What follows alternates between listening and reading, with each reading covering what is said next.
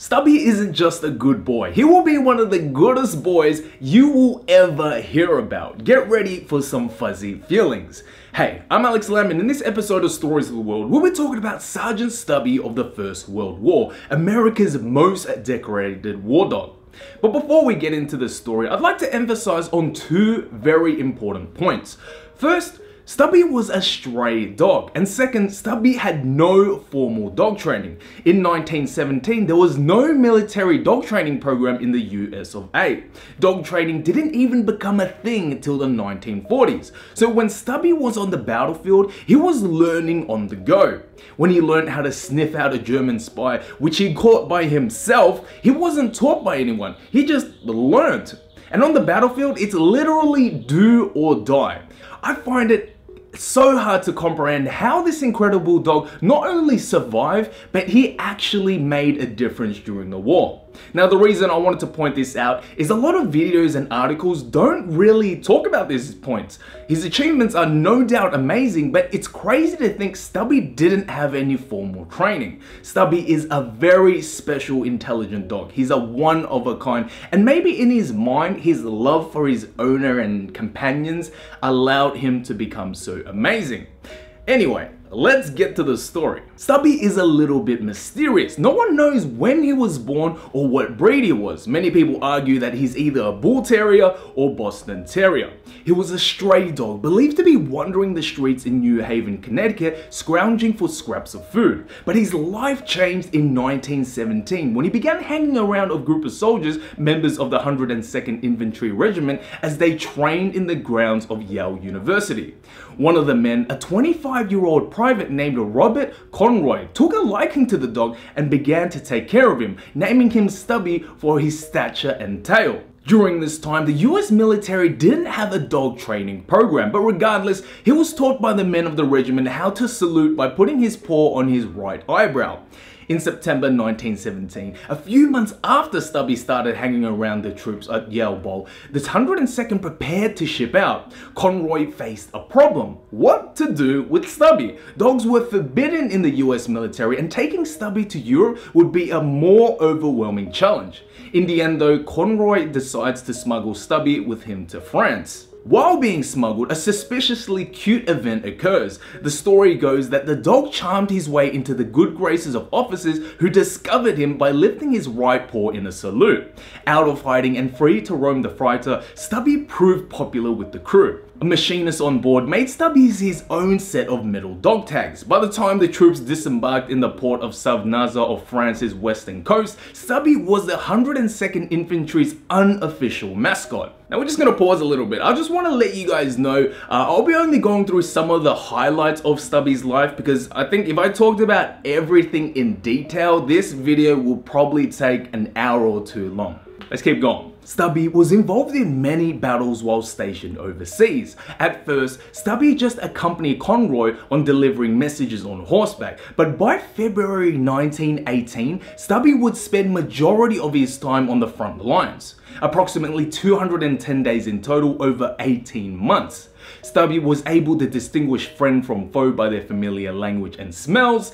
Stubby alerted medics to the cries of the wounded soldiers or stayed with them until they died so they would not be left alone. He led disoriented soldiers back to the trenches and once Stubby himself got lost but French troops found and returned him. His keen sense of hearing allowed him to hear artillery shots whining before humans did and alerted to people to take cover. And remember, he had no formal training. He learned all of this on the battlefield, which is absolutely insane. Stubby's first injury was when he inhaled mustard gas, which required medical treatment, but was soon back to the front lines. And what's even more incredible was this incident left him sensitive to the tiniest traces of gas, and would later have saved an entire company by alerting the men to wear their gas masks. The story goes one morning, while most of the troops were sleeping, the division was assaulted by an early morning gas launch. Stubby first smelled the gas, then ran up and down the trenches,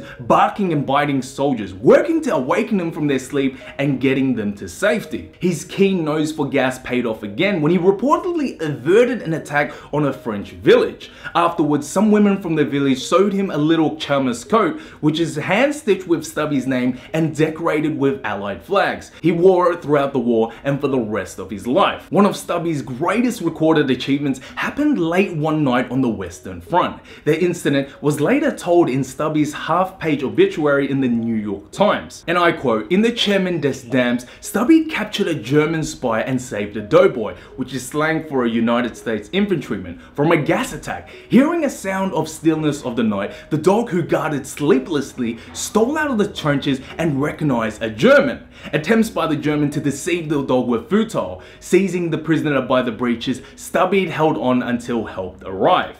End quote. Alerted by the commotion, Stubby's fellow soldiers were then able to capture and imprison the spy. For his efforts that night, Stubby was issued an Iron Cross medal that had originally been given to the German spy. Now I've linked the obituary in the description box below, so if you guys want to read the whole thing, go for it. With all the bullets flying around and things exploding, it was only a matter of time before Stubby was seriously injured. He got his first wound on April 1918 during a raid to take Seicheprey. Stubby was wounded in the foreleg by shrapnel from a grenade thrown by retreating Germans. He was injured a second time, again from a grenade, this time receiving a large amount of shrapnel in his chest and leg. He was rushed to the field hospital and later transferred to the Red Cross Recovery Hospital for additional surgery. When Stubby became well enough to move around at the hospital, he visited wounded soldiers, boosting their morale. At the end of the war, Stubby returned to America. He was honored with a Medal of Heroism from the Humane Education Society and met with Presidents Woodrow Wilson, Calvin Coolidge, and Warren G. Harding. He went on to become the mascot for the sports team at Georgetown University, Washington, D.C., where Conroy studied law. Sergeant Stubby passed away in Conroy's arms in 1926 when he was about 10 years old. Now, some of you guys might have noticed I haven't mentioned the sergeant rank part of Sergeant Stubby, uh, and I'm gonna be honest, I don't know if it's true right? There was never a consistent information on where he was actually promoted, right? And I found something really interesting. This is from a lady called Ann Bausum, who has written two books about Stubby, and I quote, I'm quite convinced that it was promoted by the internet. It sounds so good we want it to be true. And one of the reasons I think this isn't true is that there is not a single contemporary story from his lifetime and I looked at hundreds of newspaper articles of Stubby. There is not a single one that calls him Sergeant Stubby. He was just Stubby and that was good for him. End quote. So it's really hard for me to say, especially with the internet and all the fake news and stuff going on. Uh, but an interesting theory is that the confusion may have come from Stubby's vest, which includes a patch with three chevrons. While they may have represented a sergeant's rank today, they were used in World War I to identify soldiers and apparently dogs with overseas service. So it's up to you guys, make of it what you will. There are numerous books on Stubby and even an animated movie called Sergeant Stubby, an American hero, which I highly recommend. Uh, and for the people that want to actually meet him, Stubby is actually at the Smithsonian. He's been taxidermied. It's just bloody incredible that this stray dog with no formal training went on to living such a heroic life. Uh, and for those of you who want to read more about Stubby, I'll put some links that you can uh, check out in the description box below. So, you know, be sure to check that out. So that's the story of Sergeant Stubby of World War One, the most decorated dog in America. If you guys enjoyed this video, hit the like button and subscribe if you want to hear more stories. Also, be sure to check out my previous videos. I'm Alex Lam and this is Stories of the World.